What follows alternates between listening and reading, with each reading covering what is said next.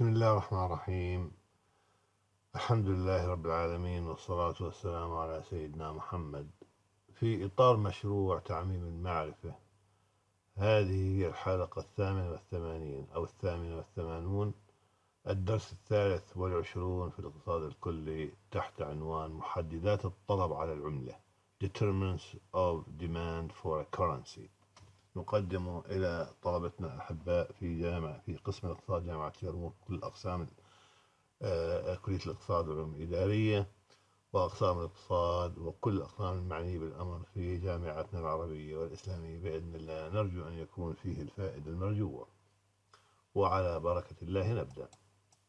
الآن محددات الطلب على العملة. Determinants of demand for a currency. لابد أن آه، أن أذكر بشيء. كنت قد قدمت في حلقتين سابقتين موضوعين رئيسيين. هما العوامل المؤثرة في مقبولية العملة. من جهة العوامل المؤثرة لم أتحدث عن أسعار الصرف في ذلك المقطع. تحدث فقط عن العوامل المؤثرة في مقبولية العملة على المستوى العالمي وذكرت بأن هناك ما لا يقل عن 12 عاملا أو محددا تؤدي إلى آه، مقبولية العملة أو عدم مقبوليتها. هذا من جهة. وتحدثت في مقطع آخر لاحق عن أنظمة أسعار صرف العملات. في هذه الحلقة أقدم محددات سعر صرف العملة وكيفية الوصول إلى سعر الصرف التوازني. فهناك الآن اختلاف بين أولا العوامل المؤثرة في مقبولية العملة ثانيا أنظمة الصرف المتبعة من قبل الدول ذكرتها اللي كانت ثلاثة راح أذكرها بعد قليل يعني لكن بشكل عناوين. وفي هذه الحلقة أقدم محددات سعر صرف العملة وكيفية الوصول إلى سعر الصرف التوازني. لابد من التذكير بالفرق بين العوامل المؤثرة بمقبولية العملة من جهة وأسعار صرفها من جهة أخرى ثم محددات الطلب على العملة. هذه كررتها أكثر من مرة راجيا الانتباه لها. كما لابد من التذكير بأن هناك أنظمة لتحديد أسعار صرف العملات.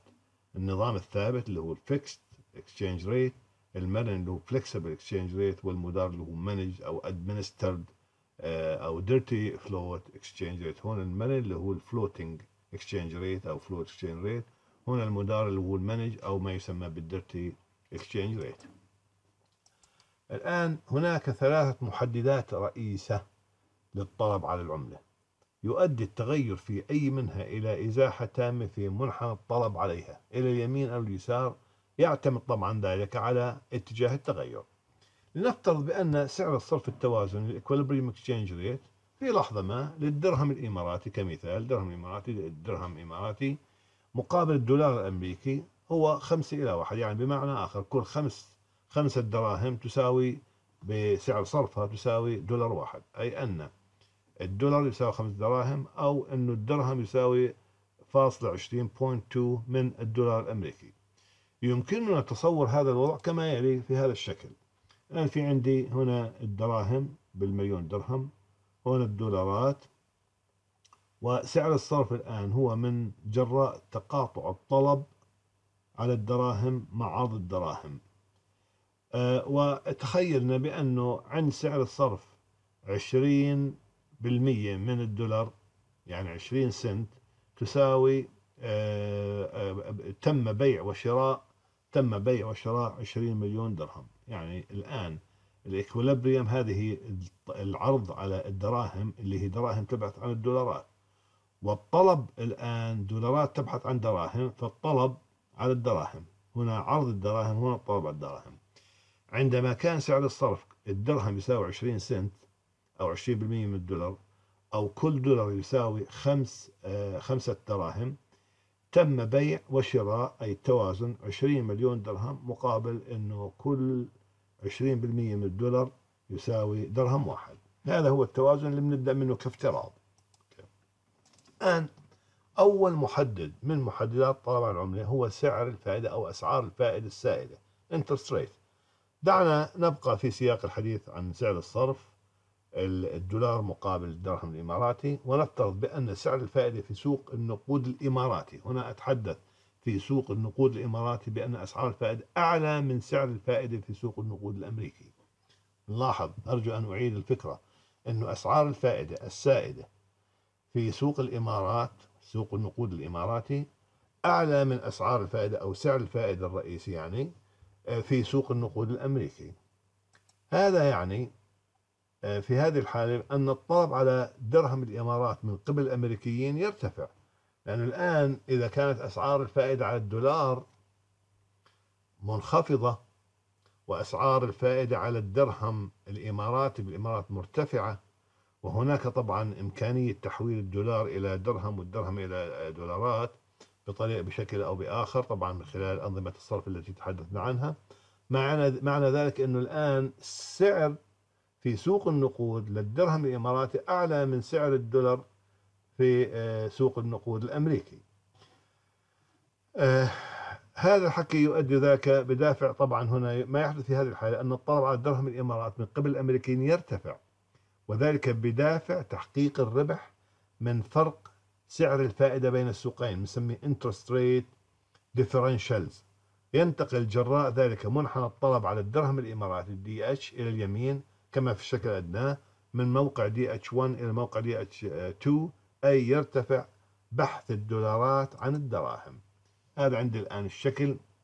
كنا عند هذا التقاطع الأولاني اللي هو عندي 20 مليون درهم بيعت واشترت وتم شرائها عفوا آه، مقابل سعر 0.2 آه، أو 20 سنت لكل درهم. نتيجة لارتفاع أسعار الفائدة في سوق النقود الإماراتي على الدرهم الإماراتي وطبعا مقارنة مع ارتفاع سعر الفائدة في آه، على في سوق النقود على على الدرهم الأمريكي في السوق الأمريكي أدى ذلك إلى انتقال في الطلب على الدرهم الإماراتي من هذا الموقع DH sub D طبعا DH 1 إلى D DH 2 افترضنا إنه يعني انتقل الآن التوازن من 20 مليون إلى 25 مليون درهم تم بيعها مقابل إنه ارتفع سعر آه، درهم الإمارات من 0.2 إلى 0.22 أو من 20 سنت إلى 2 آه، إلى 22 سنت لكل درهم. إذا سعر الفائدة هو من المحددات الرئيسية. الآن نفترض بأن نقطة التوازن الجديدة تحققت عند كما بينا قبل قليل أنه نقطة التوازن الجديدة انتقلت من 20 إلى 25 عن نقطة التوازن الجديدة 25 آه الأولاني كان 0.2 ل يعني من الدولار يساوي درهم الآن 0.22 من الدولار يساوي درهم. ما يعني الآن؟ آه، نفترض الآن بأن نقطة التوازن الجديدة تحققت عند 25 مليون درهم مقابل 0.22 لكل درهم. ما يعني بأن قيمة الدرهم قد ارتفعت. هون عندي ما يسمى بالابريشيشن أو قيمة الدرهم has been appreciated نسبة إلى الدولار. بمعدل ماذا؟ نأخذ السعر الثاني 0.22 بنقصه من السعر الأولاني 0.2 نقسمه على السعر الأولاني بيطلع عندي 10% أي بمعنى آخر هناك ربح رأس مالي آه، آه، للمتاجر بالعملة بمقدار 10% على كل درهم الآن آه، أو اللي, اللي كل درهم اشتراه الأمريكي. لكل درهم اشتراه الأمريكي من من الدراهم الإماراتية أو أن قيمة الدولار انخفضت depreciated dollars has been depreciated طبعا نسبة للدرهم بمعدل ماذا؟ السعر الأولاني كنا نأخذ إحنا مقابل كل دولار خمس دراهم الآن أصبحنا بناخذ 4.455 نقسم على السعر القديم بيطلع عندي 9.09% أو 9 تقريبا 1 بالعشرة بالمية لكل دولار خسارة مقابل الدرهم الآن. نعطي دبريشيا أو انخفاض قيمته مقابل الدرهم. تعلمنا النتيجة أعلى بأن ارتفاع سعر الصرف بين عملتين يعني بالضرورة أن قيمة إحداهما آه، تنخفض وقيمة الأخرى ترتفع. وفي هذه الحالة ارتفع قيمة درهم الإمارات مقابل انخفاض قيمة الدولار الأمريكي. المحدد الثاني هو الدخل الحقيقي real income. الدخل الحقيقي اللي هي القوة الشرائية للعملة. آه، طبعا نأخذ بعين الاعتبار أشياء كثيرة لكن الدخل الحقيقي مجرد من آه، من جرده من الأسعار وبالتالي ما هي القوة الشرائية مثلا للدولار بالولايات المتحدة للدرهم بالإمارات المتحدة. آه، على سبيل المثال حتى نبين مثلا الدينار الأردني كان يشتري لي طبق من البيض السنة هذه أو قبل سنتين. السنة هذه أصبح يشتري لي مثلا ثلاثة أرباع الطبق ما يعني بأن هناك انخفاض في الدخل الحقيقي في القوة الشرائية للعملة لنفترض بأن مستوى الدخل الحقيقي للإماراتيين ارتفع بشكل ملحوظ نسبة إلى الدخل الحقيقي للأمريكيين هنا بما يتعلق بالنقطة الثانية أو محددات الطلب على العملة من النقطة الثانية الدخل الحقيقي. فافترضنا بأن مستوى الدخل الحقيقي للإماراتيين ارتفع بشكل ملحوظ اللهم نسبة إلى الدخل الحقيقي للأمريكيين ما يحدث في هذه الحالة أن طلب الإماراتيين على البضائع الأمريكية يرتفع ما يؤدي إلى انتقال منحنى عرض الدراهم الإماراتي الباحث عن الدولارات إلى اليمين كما في الشكل الأدنى هنا الشكل آه لنفترض أنه إحنا بدينا بالتوازن الأولي أنه كان عندي مقابل كل 20 سنت أو 5 بال 20% من الدولار تساوي درهم واحد والتوازن في آه، بيع وشراء الدراهم كان 20 مليون درهم مقابل كل درهم يساوي 20 سنت أو اللي هو 20% من آه، الدولار الأمريكي. الآن نتيجة لزيادة عرض الدراهم. الدراهم تبحث عن دولارات. أدى ذلك إلى انتقال منحنى عرض الدراهم من هذا الموقع DH 1 إلى DH 2 بال supply side أدى ذلك طبعا في عندي هون طلب على على الدراهم هون فمقابل آه، الدولار طبعا آه، أدى ذلك إلى زيادة الكميات التوازنية من 20 إلى 30 20 مليون إلى 30 مليون لكن خفض سعر صرف الدرهم مقابل الدولار من 20 سنت إلى 15 سنت لماذا؟ لأن الآن زاد طلب الإماراتيين على الدولارات الأمريكية نتيجة لانخفاض الدخل الحقيقي في الولايات المتحدة وأدى ذلك إلى زيادة طلب الإماراتيين على البضائع الأمريكية أكثر. هذا سبب ثاني. لنفترض بأن التوازن الجديد قد تحقق كما ذكرت قبل قليل في الرسم البياني هنا أنه انتقل من 20 إلى 30 مليون من 20 مليون إلى 30 مليون دخل توازني وانخفض السعر التوازني عفوا هنا الكمية التوازنية من الدراهم. ومقابل سعر الصرف من 20 سنت إلى 15 سنت. لنفترض الآن أنه التوازن فعلا عند 20 عند 30 مليون درهم مقابل 15 سنت للدرهم الواحد. ما يحدث الآن في هذا الشكل أنه أرد أعيده يعني انتقل منحنى العرض للدراهم الإماراتية بالشكل آه، آه، هذا اللي هو باتجاه السهم. وبالتالي الآن ما يعني بأن قيمة الدرهم مقابل الدولار انخفضت بنسبة ماذا؟ السعر السابق 20 آه، السعر الحالي 15 مقسم على 20 انخفضت قيمة الدرهم بمقابل الدولار بنسبة 25% هون صار في عندي ديبريشيشن بقيمة الدرهم مقابل الدولار وارتفعت قيمة الدولار مقابل الدرهم بنسبة ماذا؟ السعر القديم الجديد ناقص القديم على السعر القديم يساوي 33% المفروض إنه هذا السعر الجديد أوضعه هنا لكن بما إنه متحدث إحنا عن إشارة مطلقة فالحسابات راح تكون نفس الشيء المهم إنه نقسم على السعر القديم إحنا. آه، فهون عندي آه، ما يسمى بديبريشيشن بمقدار 25% بسعر بسعر صرف الدرهم وعندي ابريشيشن أو زيادة في سعر صرف الدولار مقابل الدرهم بمقدار 33% محدد رقم ثلاثة هو مستوى الأسعار price level.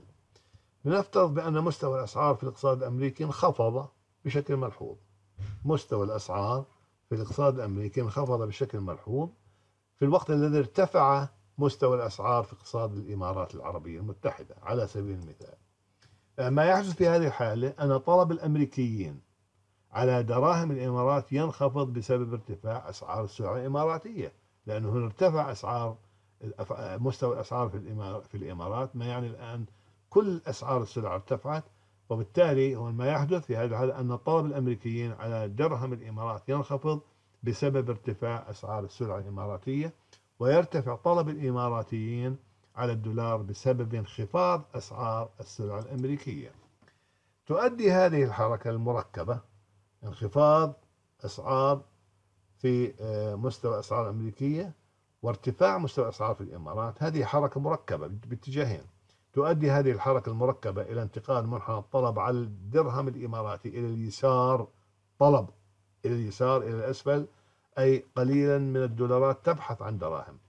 وينتقل منحنى عرض الدرهم إلى اليمين إلى الأعلى أي كثيرا من الدراهم تبحث على الدولارات. أرجو من طلبة الأحباء والمتابعين الكرام محاولة تصور الشكل البياني للحالة. لا أريدهم أن يعني يمارسوا فكرا حتى يتخيلوا آه، الشكل تقريبا لو من مستوحى من الشكلين السابقين بإذن الله.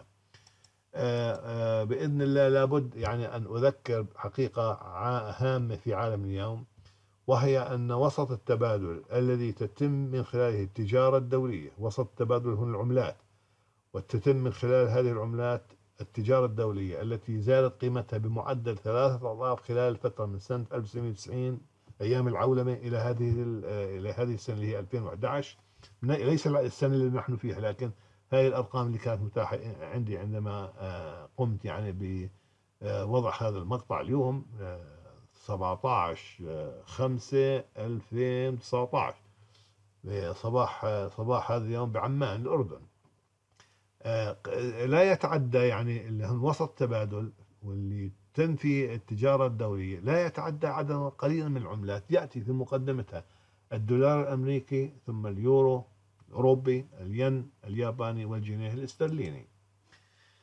بالتالي فإن أسعار الصرف قد لا تعني هنا مهمة جدا هذه الملاحظة أسعار الصرف قد لا تعني شيئا عندما تكون الدولة فقيرة ولا تؤثر عملتها في مجمل التجارة الدولية إلا بالنزل القليل.